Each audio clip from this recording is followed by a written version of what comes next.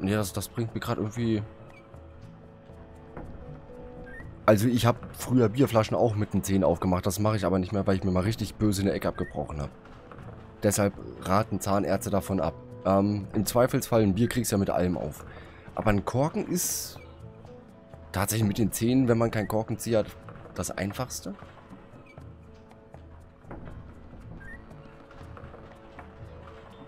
Aber wie gesagt, der Zahn will ja nicht.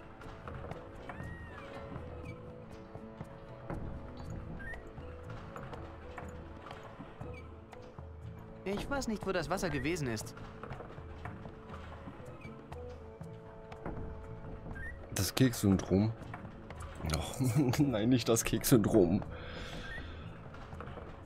Oh.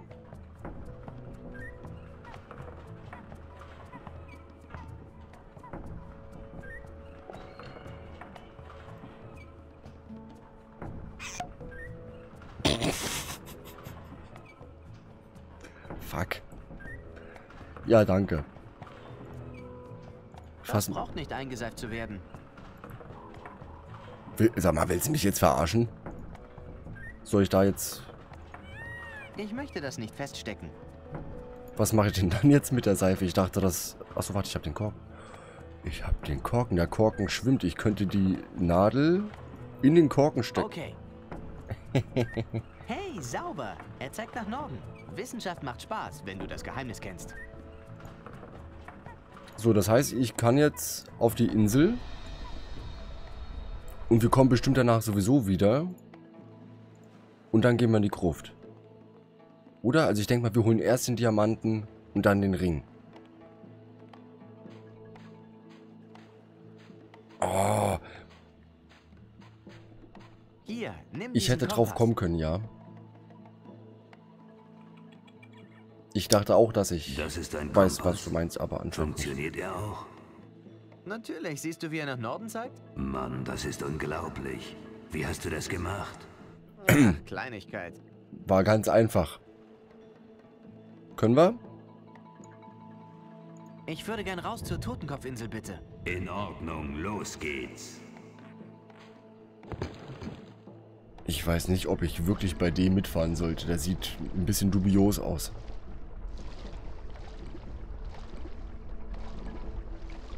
Voll mit so einer mit so einer Nussschale auf dem Ozean. Selbst die tapfersten Männer müssen sich vor diesem Ort fürchten. Nimm deinen Mut zusammen, Junge. Ich hab jetzt nicht so Jetzt, große Angst. bevor du auf den schrecklichen, fürchterlichen Anblick der Totenkopfinsel starrst. Es ist Das ist eine Ente. Wovon redest du? Okay, könnte auch eine Ente Siehst du den Totenkopf nicht? Diese Insel sieht überhaupt nicht wie ein Totenkopf aus. Sie sieht aus wie eine große, ungeheure Ente. Sie sollte Enteninsel genannt werden. Weißt du, Welcome du musst to schielen Duck Island. Kopf so drehen und... Uh, es ist ja so furchteinflößend. ja schon ein Wenn bisschen. du schielst und deinen Kopf so drehst, sieht sie aus wie ein Häschen. Naja, egal. Stimmt, so. Siehst du das Licht da oben auf dem Felsen? Ja. Das ist die Schmugglerhöhle. Mhm. Sie wird von König André geleitet, dem größten Schmuggler der Welt. Da will ich rein. Und seinem miesen Gehilfen Kraft. Aber wie komme ich dort hoch? Du musst oben auf die Klippe gelangen. Mhm. Warum kommst du nicht mit? Nein, du musst alleine gehen. Dort wird jemand sein, der dir helfen wird. Aber ich warne dich, hüte dich vor König André. Er ist so unbarmherzig, wie er kahlköpfig ist. Viel Glück. Danke. Okay, das ging schnell. Moin. Ich Äh. will ihn nicht überall mit rum. Hallo, kannst du mir sagen, Ich will wo ihn ich mit bösen. Schmuggler der Totenkopfinsel finde? Keine Ahnung. Oh, warte mal. Ich glaube, ich hatte da mal etwas in der Richtung beim Orientierungsseminar. Lass mich nachdenken. Die Höhle ist auf halbem Weg diese steile Klippe hinunter. Steig auf diesen Lastenaufzug. Ich, ich, ich, ich lass dich runter. Sieht ziemlich wackelig aus. Bist du sicher, dass er sicher ist? Nein. Hab ihn vorher noch nie benutzt. Aber ich bin sicher, dass es nicht so gefährlich ist. Ich gut, wenn wir sterben, kommen wir in die Gruft. Der reguläre Aufzugswärter, Muckibart, ist krank. Deshalb bin ich eingesprungen. Ich schätze, das ist in Ordnung. Wie ist dein Name? Er lautet Lafus. Könntest du mich zur Höhle der Schmuggler herablassen? Sicher, kann ich. Du, du wiegst nicht mehr als, lass mich schätzen, 20 Pfund, richtig? Genau genommen um die 120. Oh, nun, probieren kann nicht schaden. Richtig? Bist du dir dabei ganz sicher? Oh, Oh oh. ja, du siehst gar nicht so schwer aus. Hm. Ja, das Ist stimmt. dieser Knoten auch fest angezogen? Los geht's! Oh, oh. Okay, gib mir ein kleines bisschen Seil nach. Aber! Okay, das Ich- ist zu viel Seil. ich wollte gerade noch sagen, er hält gut durch. Sterbe ich und komme in die Gruft? Aber dann muss ich mich ja selber wiederbeleben. Au. Ah. Au. Au. Oh, das sah schmerzhaft aus.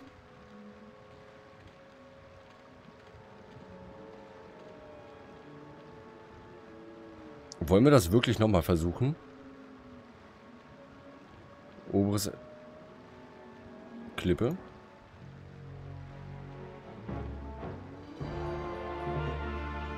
Das sieht trotzdem ganz verdächtig nach einer Ente aus. Oder nach einem Hasen. Wenn man seinen Kopf dreht. Also ich kann bloß da hoch. Mit dem Quatschen. Kann ich dafür sorgen, dass er nicht loslässt?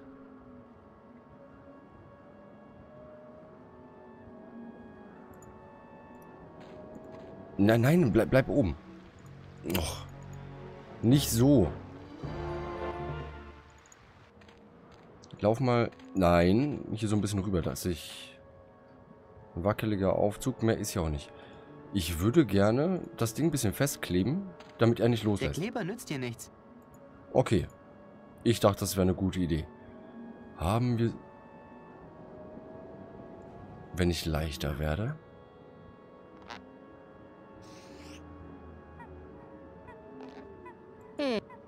Kann ich noch leichter werden?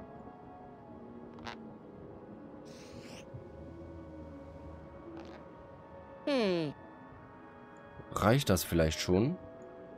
Ja, Lass uns dieses das Cliff hinunter zur Höhle Ding nochmal probieren. in Ordnung. Ich glaube, ich werde schon besser darin. Sei dieses Mal bitte vorsichtig. Kein Problem. Los geht's! Es klappt! Es klappt! Es klappt nicht! Oh, verflucht, aber ich war doch schon leichter.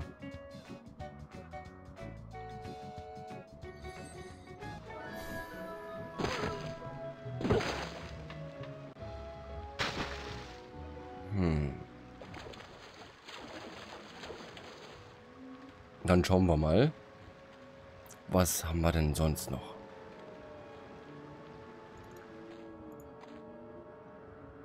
Äh, mm, mhm.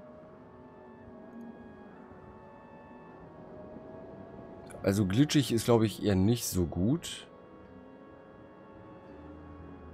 Könnte ich nicht mit dem Regenschirm so nach unten gleiten?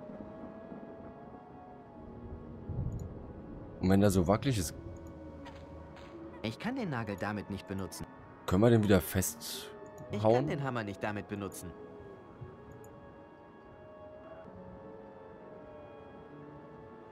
Kann ich das hier Das reinfüllen? will ich nicht schmieren. Weil dann hätte ich in die Handlotion den Kleber reingepackt und ihm gegeben. Ich glaube nicht, dass er das mögen würde. Also der Heliumballon reicht nicht. Was könnten wir noch?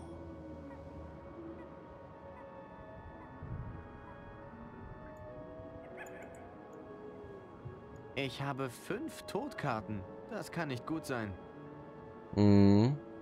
Aber du überlebst ja auch so einen Sprung von der Klippe, praktisch. Also, Sturz. Sprung ist es ja nicht. Äh, Ich kann den Meißel nicht damit benutzen. gut, dann nicht. Soll hier noch jemand mit anpacken? Ich glaube nicht, dass er das mögen würde. Ich kann den Skelettarm nicht damit benutzen.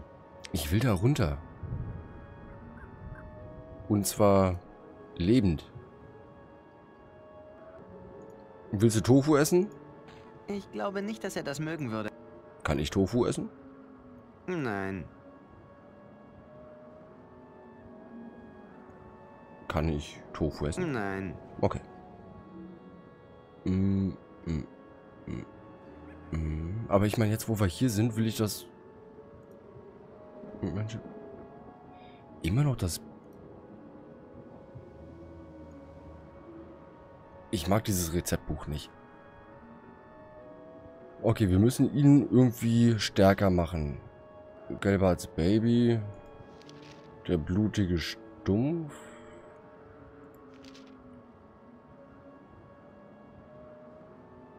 Mit Haken mixen. Aber das ganz... Ein Messglas Kleber. Aber das habe ich doch alles gar nicht. Also den Kleber hätte ich. Ich hätte auch ein Messglas. Aber Grenadin und so?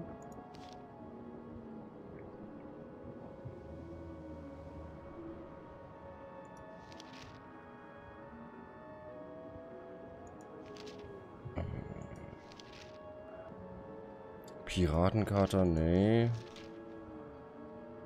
Äh, nee. Und das Keksrezept. Und das andere Buch mit dem Kompass kann es ja nicht sein. Welches?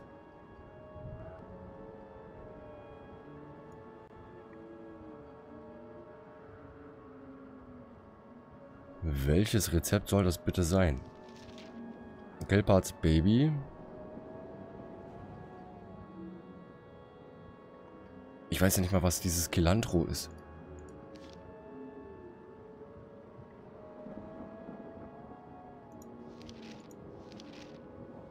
Ich versuche alles durchzulesen, aber da sind so, es sind halt immer Zutaten dabei, die ich noch nirgendwo gesehen habe. Fass rum, ja, geht schon.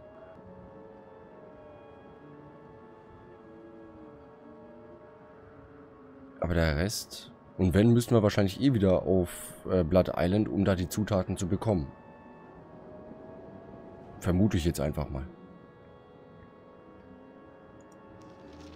Wodka haben wir nicht. Zitronen könnten wir vielleicht bei den Kannibalen bekommen. Penilalanin, keine Ahnung, mit Eis gut schütteln. Eis könnten wir aus dem Kühlschrank bekommen. Rum, ja. Natriumpentatol, keine Ahnung. Wermut haben wir auch nicht. Tomatensauce haben wir nicht.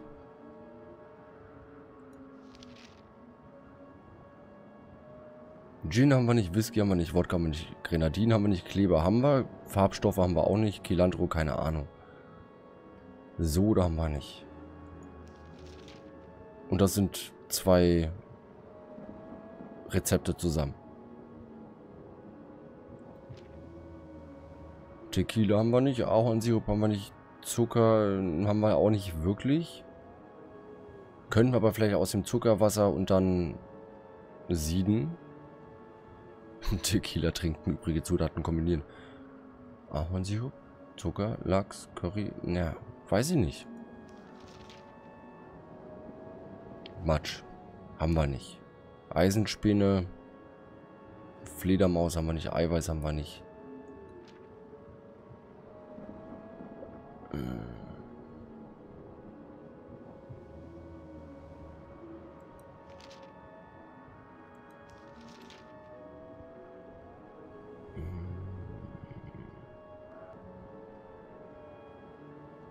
Eine Zirrhose wäre für uns eigentlich ganz praktisch, ne? Weil wir müssen ja wirklich mal sterben.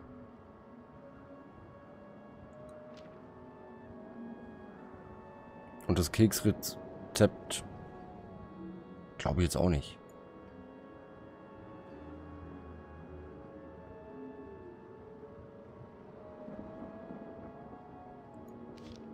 Was ist dieses Kilantro? Und ich gehe trotzdem davon aus, dass wir erst wieder nach Blood Island müssen.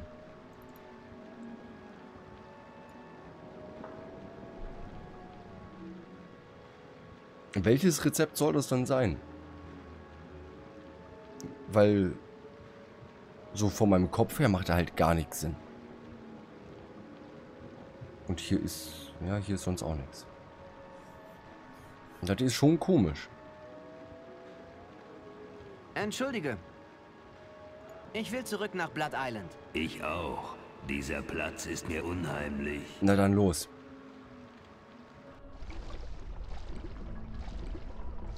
Hm.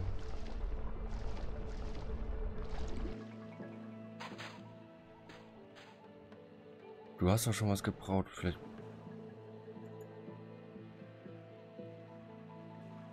Na, wirklich was gebraut habe ich nicht. Ich habe bloß was davon gegeben.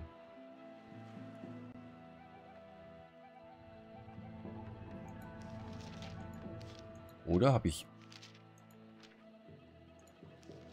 Das war ja das...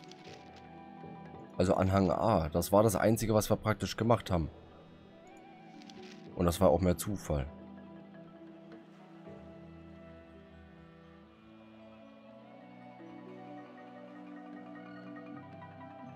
Ich würde auf das hier tippen, weil Fledermäuse sind am Friedhof.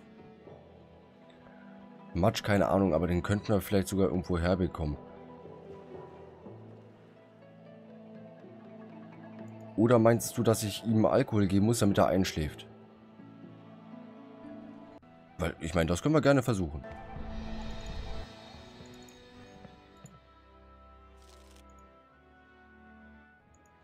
Ach nein, ich, ich habe ja den Becher gar nicht mehr.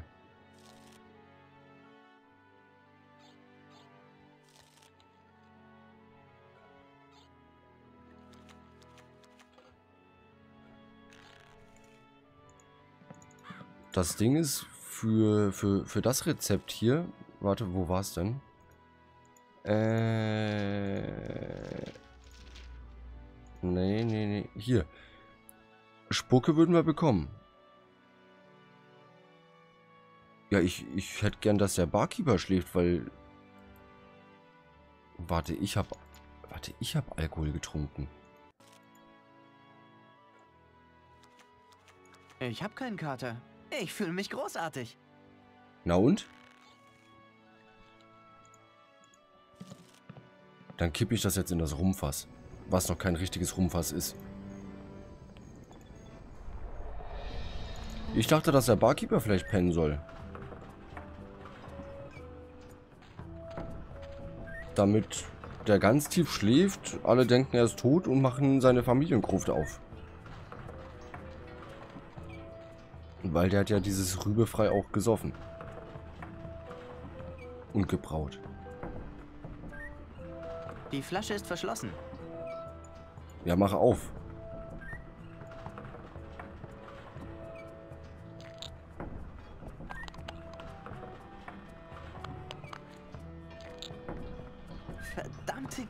Kindersicherung. Ich bekomme sie nicht auf. Deine Worte klingen gut, aber im falschen Kontext. Das höre ich öfter.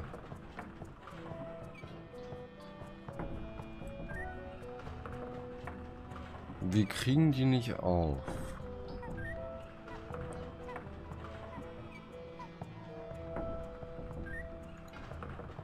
Das will ich nicht schmieren.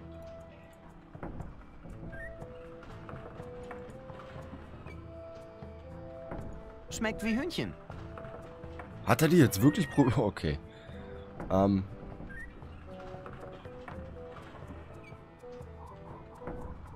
Ist das leer? Kann ich hier was einfüllen? Das braucht nicht eingeseift zu werden. Ist also immer noch Seife drin. Komm, so, trink die Seife. So hungrig bin ich wirklich nicht. Trink die Seife, komm, vertrau mir.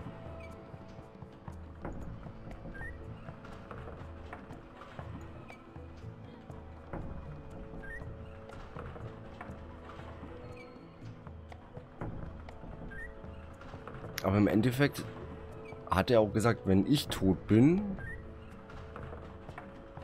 dann darf ich in die Gruft.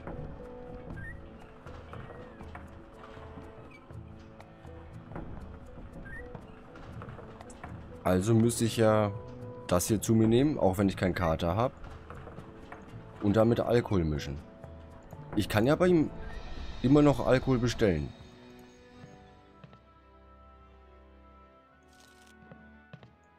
Bestelle mal was. Vielleicht mache ich das so lange, bis ich einen Kater habe. Ich möchte einen Drink, bitte. Genau. Irgendwas, was... Ach, diesmal habe ich gar keine Wahl mehr. Diesmal ist es einfach Grog.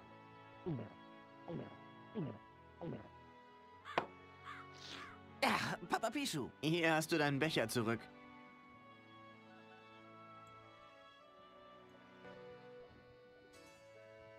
Ich möchte einen Drink, bitte. Sicher, sicher. Kann ich das jetzt rein... Aber ich krieg's ja nicht auf. Die Flasche ist verschlossen. Die Flasche ist verschlossen. Kannst du mir das aufmachen? Ich habe keinen Kater. Ich fühle mich großartig. Kann ich die Flasche nicht einfach mit den Zehen aufmachen?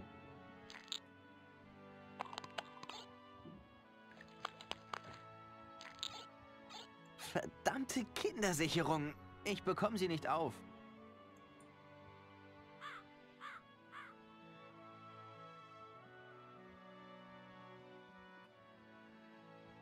Hm.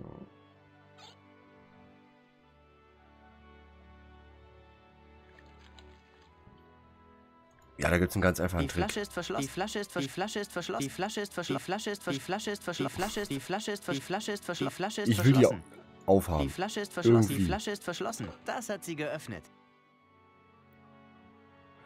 Wusste ich ja, habe ich ja von Anfang an gesagt. Das macht den Drink umso ansprechender. Na dann, Ex und Hop. Mir fällt gerade ein, dass das Vermischen von Medizin und Alkohol eine wirklich dumme und vermutlich tödliche Angelegenheit ist. Wäre ich eine reale Person anstelle einer lieblichen Zeichentrickfigur mit dem Potenzial für einige weitere Fortsetzungen, würde ich nicht mal dran denken. Du, ich habe auch schon eine Aspirin mit einem Bier runtergekippt. Damals. Ist auch nichts passiert. Das ist komisch. Es müsste eigentlich schläfrig machen.